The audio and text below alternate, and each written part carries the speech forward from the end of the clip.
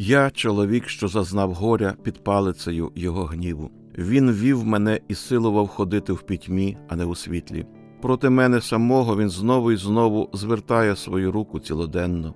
Він виснажив тіло моє й мою шкіру, він розбив мої кості. Він зводив будову проти мене і оточував мене жовчу та нуждою. Він оселив мене в місцях темних, наче тих, що вже давно померли. Муром обвів мене, щоб я не вийшов, зробив тяжкими мої кайдани. Навіть як я взиваю і допомоги благаю, він відштовхує мою молитву. Дороги мої тесаним камінням закидав, стежки мої викривив він. Ведмедем у засідці зробився для мене, левом у сховку. Він збив набік мої дороги, він розірвав мене і обернув на ніщоту. Він нап'яв свого лука і поставив мене стрілі за мету, дав доступ у моє нутро дітям Сагайдака свого. Я став посміховищем для всього мого народу, їх приспівкою цілоденною, наситив мене гіркотою і напоїв полином. Він розбив щебенню мої зуби, він повалив мене в попіл, покинув спокій мою душу, і я забув про щастя. Я мовив, пропала моя сила, моя на Господа надія. Згадай про мої злидні та мою скорботу, про полин та жовч. Глибоко вбилося усе те мені в пам'ять, і душа моя в мені прибита. Оце пригадую я моєму серцю і тому надіюсь, ласки Господні не скінчились, не вичерпалося Його милосердя. Вони нові щоранку, велика твоя вірність.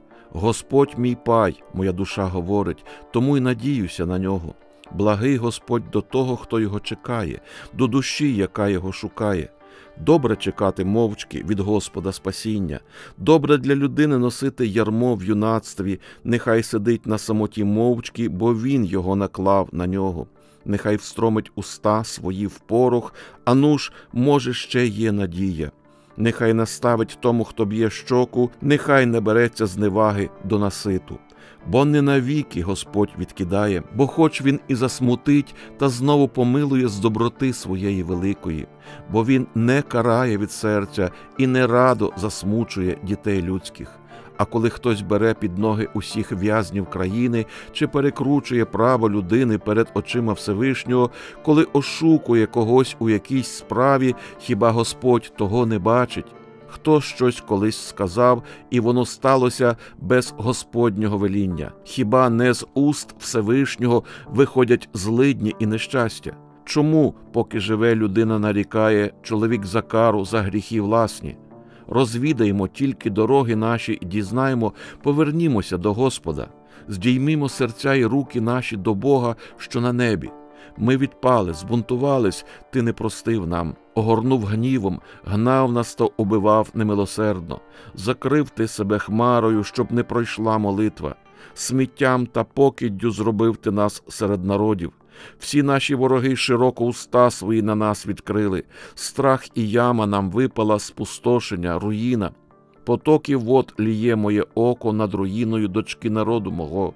Око моє стікає без угаву, без перестання, поки Господь з неба не спогляне та не побачить, око моє печалить мою душу з за усіх дочок мого міста. Мов пташку напосілися на мене зловити ті, що зо мною ворогують без причини, життя моє підтяли в ямі і прикидали мене камінням. Води знялися понад голову в мене, і сказав я пропав я.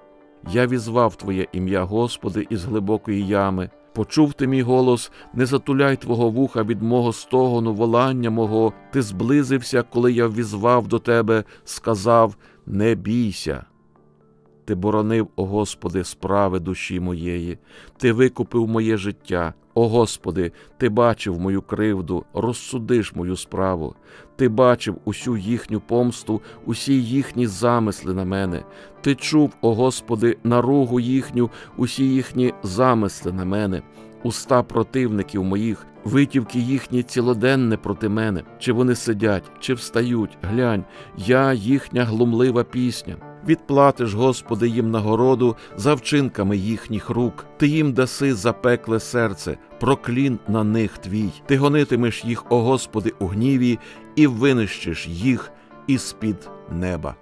Плач Єремії є, напевно, одна з найважчих для читання е, книг в Старому Завіті, тому що вона описує момент найбільшої кризи і найбільшого, е, скажімо, страждання ізраїльського народу. Ця книга написана після знищення Єрусалиму е, Вавилонською імперією. І, власне, скоріш за все, пророк Єремія він дивлячись на ці руїни, він описує біль і водночас не лише свій персональний, але він описує біль біль цілого народу.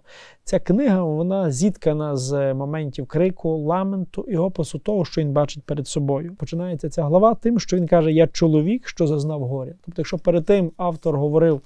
Е, від загального від імені дочки Сіону, від народу, то тепер він немов би фокусує увагу свою тільки на цій людині, на одній єдиній людині, яка плаче, яка страждає, бо її місто знищене, святиня зруйнована, і народ депортований. Цій землі не залишилося нікого. І е, він починає роздумувати, він починає шукати відповіді. Він каже, що Господь він мене силував ходити в пітьмі, а не в світлі. Тобто автор намагається осмислити, як так Бог, Бог Творець світла і темряви, який їх розділив, в один момент розвертає свій народ і замість давати йому світло, а ось давати йому надію, він вводить його в темряву. Е, більше того, він бере і виснажує тіло цієї людини, тобто її тіло, кості, як під час.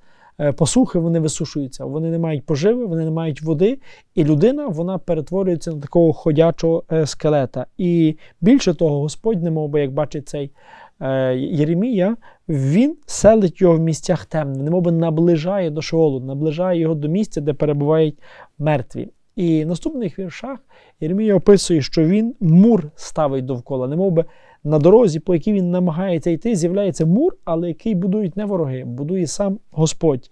І більше того, надіває йому кайдани на ноги. Сам Господь обтяжує шлях цього народу, шлях шлях конкретно цієї людини. Цей чоловік він запитує, чому? Чому так стається? І більше того, Господь, мало того, що обтяжує, він ще й стає таким хижаком, котрий нападає на цю людину. Він стає ведмедем у засідці, він стає левом, який сидить у сховку і немов би чигає на цього беззахисту, щоб на нього накинутися. Господь сам починає як лучник цілитися і стріляти в цю людину. Насправді цей опис Бога, який воює проти свого народу, є дуже жорстоким, є дуже страшним, тому що в один момент е, народ, який був улюбленцем Божим, улюбленим сином, дитиною Божою, він в один момент стає тим, проти кого Бог воює. Він дозволяє, так би мовити, цим військам підійти, і він сам підсилює їхні луки, підсилює їхню зброю для того, щоб цей народ знищити. І він е, б'є, і цей чоловік, не мов би, відчуває на власному тілі всі ці удари, всі ці рани, і в нього е, є дуже безліч радше запитань. І що він говорить в 18-му вірші? Він каже, що моя на Господа надія. Попри всі ці жахи, які він перераховує, він розуміє, що єдиний, хто його може врятувати, все-таки це є Господь. І тоді він починає про це роздумувати. Він каже, що ласка Господня, а це його милосердя, воно не скінчилося, воно не вичерпалося. І тут автор використовує такий дуже сильний єврейський термін хесед, який підкреслює, що насправді Боже милосердя воно не може вичерпатися. Бог, бачачи народ, котрий страждає, котрий справді є побитий, поламаний, розстріляний, він. Не може залишитися безмовно. Він прийде до цього народу і він буде його рятувати. І більше того, він каже: Господь є добрий до того, благий до того, хто його чекає, до душі, яка його шукає.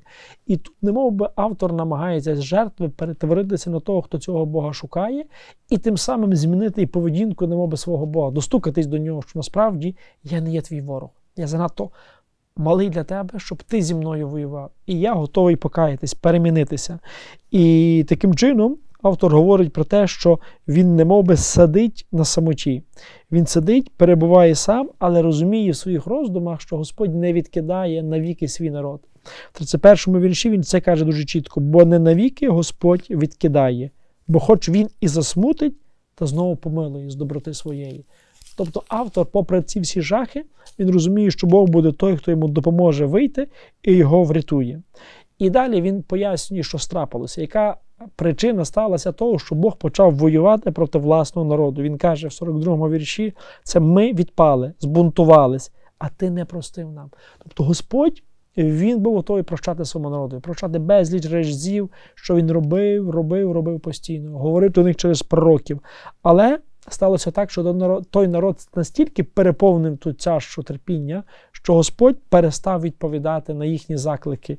І що цікаво, що Господь є настільки милосердний, що він не може мовчати перед молитвами, коли Господь його просить. І що він робить? Він закрив ти себе хмарою, щоб не прийшла молитва. Тобто молитва подібна до певного птаха чи до якоїсь е, істоти, яка лине до Бога і хоче до нього достукатись, і Господь немови посилає хмари, якими він покриває землю, для того, щоб ця молитва немов не дійшла. Бо тільки як ця молитва пройде хмари, Господь не зможе мовчати. Він буде далі прощати тому народу, він буде йому допомагати, він буде його підтримувати. Далі автор описує ворогів, описує ворогів, які на нього відкривають уста, які стають тими, які руйнують, які б'ють в найболючіше місце в око. Око, яке е, немов би витікає в автора. Він описує це е, таким чином, щоб показати, що йому є дуже боляче, бо це дуже е, чутливий орган. І він відчуває себе як як своє життя, як пташка, як пташка, котра потрапила в сільце, з якої немає втечі. І він знову ж таки декларує, що я пропав, що в мене нема надії, в мене нема шансу врятуватися перед цими ворогами. Якщо до Бога я зміг достукатися, моя молитва таки пробила ці хмари, то зараз цими ворогами і я не можу е, їх перемогти. І що е, цікаво, що він каже: Ти зблизився, коли я візвав до тебе, сказав, не бійся. Ми знову маємо оцей мотив не боятися, не боятися і знати, що попри весь жах, всі неможливі випробування, страждання і темноту, яка є довкола нас, Господь каже нам не боятися. Він каже: Ти боронив, о Господи, справи душі моєї, ти викупив моє життя. І що цікаво, що, попри всі свої намагання, автор е, плачу Єремії не бере на себе завдання мститися чи відплачувати. Він каже: відплатиш, Господи, їм нагороду за вчинки їхніх рук. Тобто він віддає всю помсту Богові. Він вірить, що тільки творець здатний виміряти оці злочини, які проти нього чинять вороги. Лише він здатний відплатити їм справедливо і сповна для того, щоб відновити цю справедливість, щоб знову гармонія повернулася в цей світ. І звершується цей уривок, цей, цей розділ. Ти гонитимеш їх, о Господи, у гніви і винищиш, винищиш їх з-під неба. Єремія вже не просто е, звертається, а він переконаний, що справді Бог буде той, хто прожене е, ворога. Бог буде той, хто їх винищить, тому що іншого чогось вони не заслужили. І дуже часто нам хочеться, е, щоб справедливість відбулася вже і тут, що вона відбулася згідно наших мірок і нашого розуміння. Проте пам'ятаємо, що Господь Він є той, який творить історії, той, котрий її тримає в руках.